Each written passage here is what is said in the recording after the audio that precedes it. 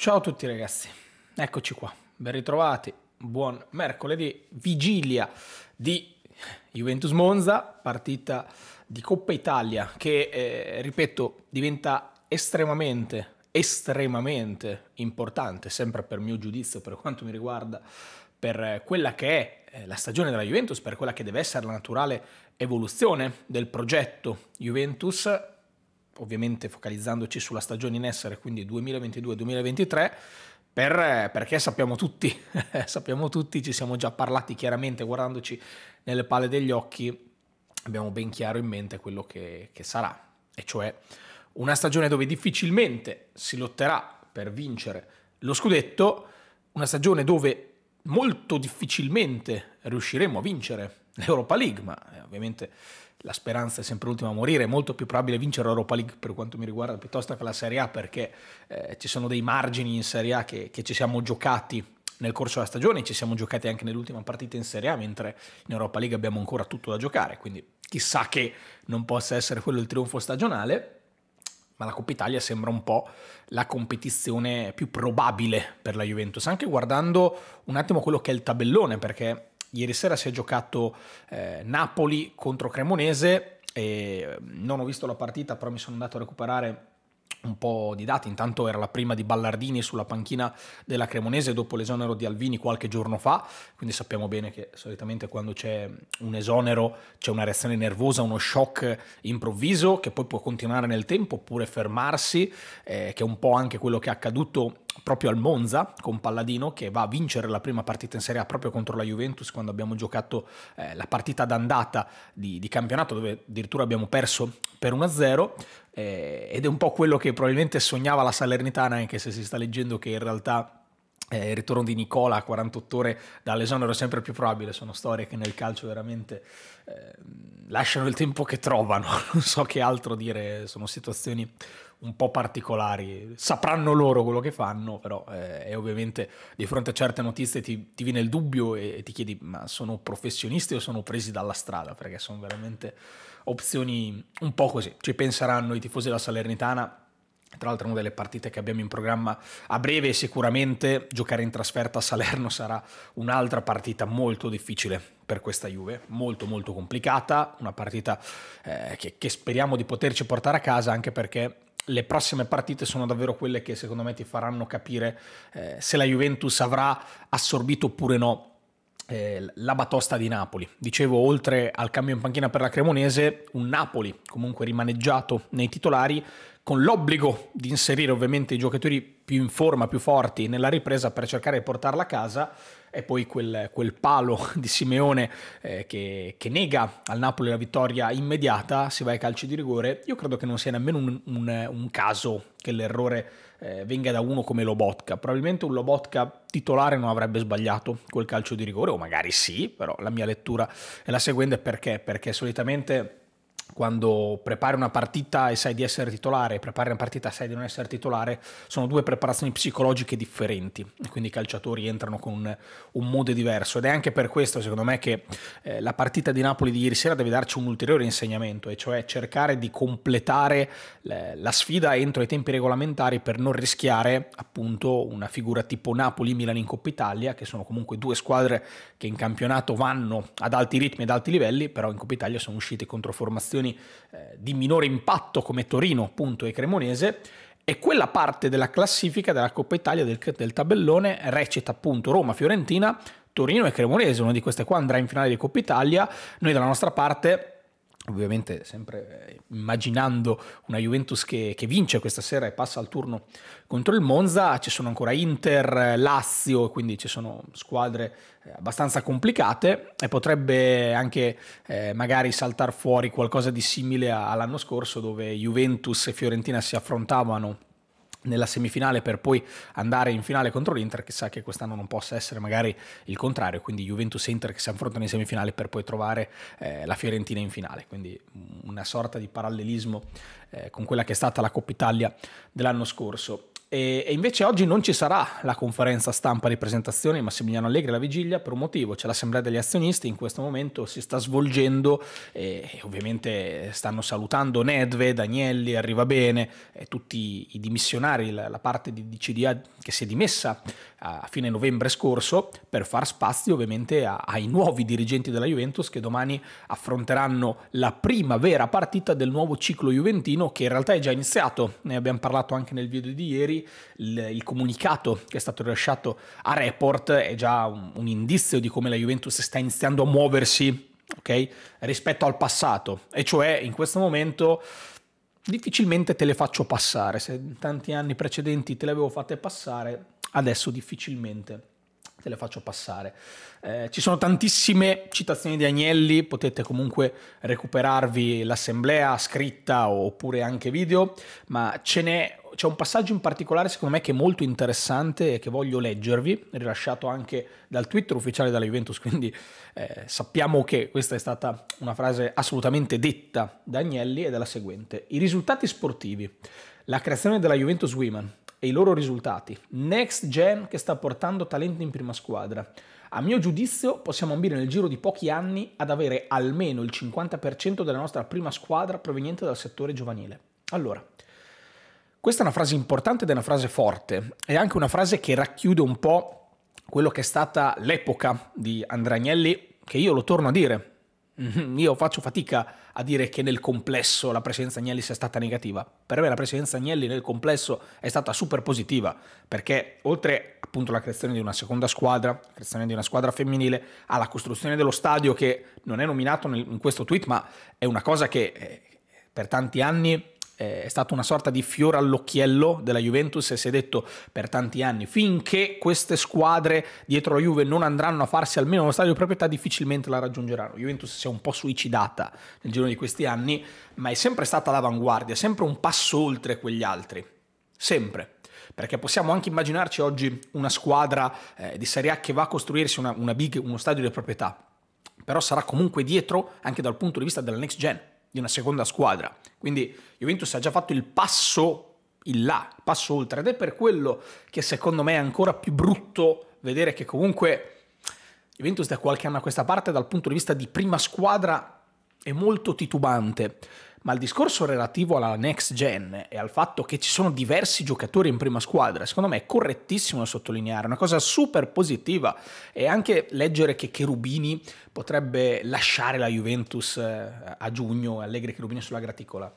Su Allegri io direi che abbiamo speso quante più parole possibili. Su Cherubini se ne parla troppo poco troppo poco. Perché per me Cherubini è una figura super determinante, super determinante. Anche quando c'è stata la conferenza stampa di, di tra virgolette, presentazioni di Miretti, Fagioli e Sule, eh, che, che, sono giocatori di prima squadra ma provengono dalla next gen, Cherubini ti ha fatto capire che era stato lui in prima persona a volere questo progetto, a curare questo progetto, a dedicare energia, tempo a questo progetto. Quindi io, io su Cherubino ho veramente poche cose da dire, eh? Veramente poche, anche nelle intercettazioni che sono venute fuori, questa volontà di lasciare da parte la Juventus del passato, la gestione del passato legata alle plusvalenze, che legale o non legale, questo vedremo il, 18, il 20, quindi tra due giorni si deciderà se riaprire il processo plusvalenze, c'è già stato un grado di giudizio, Juventus è stata assolta, non è questo il punto, però la plusvalenza, il cortocircuito della plusvalenza ti ha portato ad indebolirti, e indebolirti intendo proprio prima squadra, a livello proprio di, di squadra, se eh, prima potevamo vantare i Wayne, Ronaldo e Douglas Costa e i Pjanic e i giocatori migliori della Serie A, oggi non è più così. E credo che anche un, un grado di ragionamento possa essere, immagina, anzi immaginatevi, pensate agli ultimi, pensate agli ultimi campionati, partendo da quello di Sarri. Chi vince? La Juve. Quello dopo, chi vince? L'Inter. Quello dopo, chi vince? Il Milan. Oggi chi probabilmente vincerà è il Napoli. Vuol dire che negli ultimi quattro anni la Serie A potrebbe avere quattro vincitrici diverse, differenti. Qualcosa di inimmaginabile, davvero inimmaginabile ancora nel periodo d'oro in cui la Juventus vinceva. È per quello che vi dico, nel complesso secondo me la presenza Agnelli è stata super positiva, ma negli ultimi anni da un po' che continuiamo a battere su questo chiodo, abbiamo assistito a degli orrori, a, delle bruttezze, delle male gestioni terrificanti, terrificanti. Quindi credo che un, una, una, boccata, una ventata d'aria fresca sia necessaria, al di là del discorso del si sono dimessi per XYZ, l'abbiamo già analizzato. Io in questo momento, una Juventus che inizia a ragionare anche in maniera differente, perché quello che dovevamo fare prima, secondo me, l'abbiamo fatto. Adesso c'è un problema, e cioè che abbiamo tante cose in cui siamo avanti agli altri, anche tanto potere probabilmente a livello economico, perché Juventus comunque sì, ha dei problemi no? a livello economico in questo momento stiamo dicendo difficilmente riusciremo a fare un mercato di un certo tipo difficilmente riusciremo a prendere un altro allenatore con difficilmente questo ingaggio questo rinnovo questo giocatore. Sì ma dall'altra parte dall'altra parte il calcio moderno soprattutto in Italia dove ci sono meno soldi te lo sta dicendo. Come si vince come si fa qual è il modo per? Il modo per è investire sui talenti del tuo prodotto del tuo settore giovanile e se Agnelli arriva a dire il 50% della prima squadra nel giro di pochi anni, entro il 2025 immagino che è un po' la deadline che si è data a Juventus, il nuovo progetto parte eh, nel 2022 e deve arrivare al 2025 con l'obiettivo di una squadra che mantiene competitività in ambito sportivo ma cerca di autofinanziarsi anche grazie al settore giovanile. Eh, allora mi viene da dire, ci stiamo davvero andando in quella direzione? Eh, la risposta è sì e no per me perché secondo me siamo talmente avanti, davvero avanti, anche con l'obiettivo di, di, Juventus di rinnovare determinati talenti, di prendere altri talenti che in questo momento sono passati dalla primavera, alcuni come il difensore che abbiamo visto eh, nelle amichevoli quest'inverno di cui non mi viene il nome, è già passato in next gen quando l'idea era l'opposta, quindi si sta cercando di creare valore sulle Juventus un pelo più basse, ok? Non la prima squadra, però secondo me poi alla prima squadra gli manca sempre il centesimo per fare l'euro. E l'ho già ribadito tante volte, ripetuto tante volte. Perché Fagioli non mi gioca a Napoli? Perché Fagioli non mi gioca a Napoli? Perché non me ne gioca neanche uno dei ragazzi del prodotto del settore giovanile? Nemmeno uno mi gioca a Napoli. Paura? E allora quella paura dobbiamo mettercela via. dobbiamo mettercela via. Perché? Perché te lo dice il presidente te lo dice, il presidente dimissionario, ma te lo sta dicendo anche nell'ultimo giorno da presidente della Juventus, nell'ultima, sembra l'ultima volta che potrà parlare al presidente della Juventus, te lo sta dicendo, noi abbiamo fatto questo percorso, siamo arrivati qui e l'obiettivo è quello lì. Sì, ma l'obiettivo non può essere quello lì con 50%, dipende come lo intendiamo, 50% vuol dire 11 titolari non del settore giovanile, 11 titolari del settore giovanile, abbiamo sempre la presunzione di pensare che quelli che vengano da fuori sono più forti di quelli che abbiamo dentro, perché è più faticoso valorizzarli, perché è più lungo valorizzarli. Io ora vi farò un esempio, perché io leggo tante critiche a De Ketelare in questo momento e credo che siano anche giuste. Ma dall'altra parte, secondo me, sarà un altro di quei giocatori che farà richiedere tante persone, un po' come è stato Tonali. O un po' come è stato Raspadori, perché io mi ricordo quest'estate, ragazzi me lo ricordo. Adesso Raspadori in questo momento sta giocando un po' meno nel Napoli, ma credo che l'impatto di Raspadori sia stato ottimo su quello che, che in generale il Napoli. Ma Raspadori si diceva che la Juventus non potesse fare nemmeno panchina. Noi ci stiamo troppo abituando solo al nome, ma il nome va in fase calante. Se no, allora io ti rinnovo Quadrado anche quest'anno, ti rinnovo Alessandro anche quest'anno. A Di Maria lo imploro per rimanere. Paredes cento volte piuttosto che Rovella. Ma quante volte quest'estate ci hanno detto, ma ci siamo stati qui a dire, ma davvero ci serve Paredes? Non possiamo provare Rovella? Locatelli è il titolare, Rovella non lo possiamo provare dato che Locatelli comunque è adattato, non ci sarà una possibilità, dobbiamo per forza spendere quei 7 milioni all'anno da dare a Paredes, più non so quanti di prestito, più un eventuale riscatto, piuttosto che cercare di valorizzare un ragazzo che nel precampionato comunque aveva fatto bene. Sono queste le cose che un po' mi fanno arrabbiare, perché io sento la Juve parlare e vantarsi, e credo anche giustamente, perché secondo me è giusto che la Juve si vanti in questo momento di quello che ha fatto, di quello che ha costruito e ovviamente eh, bisogna anche ricordarsi le cose negative perché bisogna ricordarsele, però la Juventus ha fatto tante cose buone. Però queste cose buone vengono poi assorbite, mangiate, masticate, rigurgitate, sputate da atteggiamenti che vanno completamente in contrapposizione rispetto a quello che si vuole fare. Ora, quest'anno probabilmente c'era l'idea di, di migliorare subito la squadra, boom, un botto, provarci quest'anno, se va male poi cambiamo. Però allora vi dico, va bene, l'hai pensata così,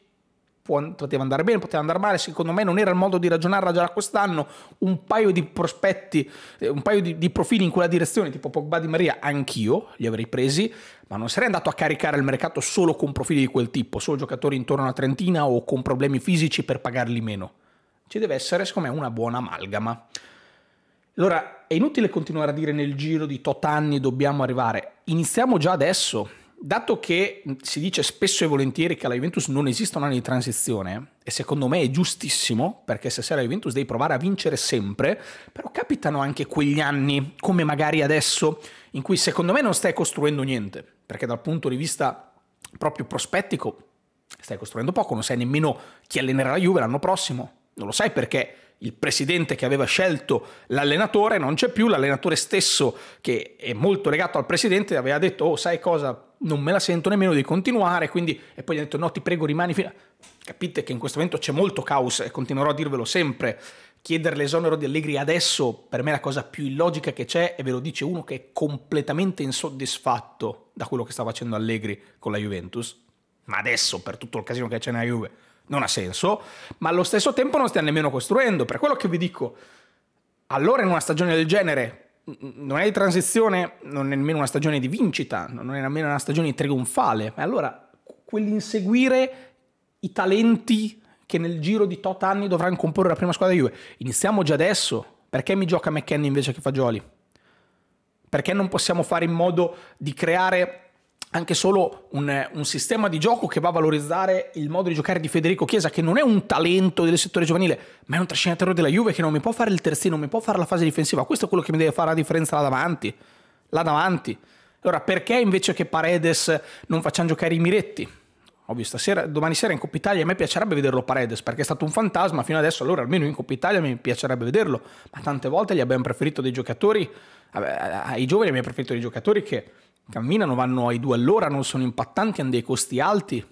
non hanno mercato, cioè sono quelle cose che faccio un po' fatica a capire. Allora quel progetto, quel procedimento, quell'idea,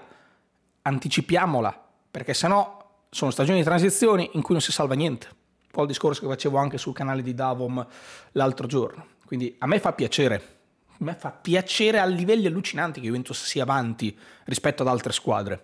Però poi bisogna dimostrarlo anche dentro il campo con delle scelte che devono essere più coraggiose rispetto a quelle del passato, perché non siamo più quelle Juventus di una volta che se anche non mi formi il giovane, ma sai cosa me ne frega, ti stacco l'assegno da 50 milioni di euro, ti vengo a prendere il giocatore che mi serve, lo inserisco in prima squadra e io ho già messo il buco, fa lo stesso, chi se ne frega, faccio il rinnovo, faccio il rinnovo a contratto alto, quella era una strategia che ha funzionato perché? Perché c'erano questi, adesso ci sono meno di quelli e non la puoi più fare, non la puoi più attuare, non puoi più ragionare in quel modo, non puoi più nemmeno fare le scelte in base al nome all'interno di un ballottaggio in campo, no, devi fare le scelte in base alla meritocrazia, alla lungimiranza, perché questo è l'obiettivo che ha dichiarato Juventus. Però se Juventus dichiara una cosa e poi compra il giocatore che va nella direzione opposta o nella partita di impatto di cartello in cui puoi riaprire il campionato fa ragionamento inverso, allora la domanda a me sorge spontanea. Predichiamo bene e razioniamo male?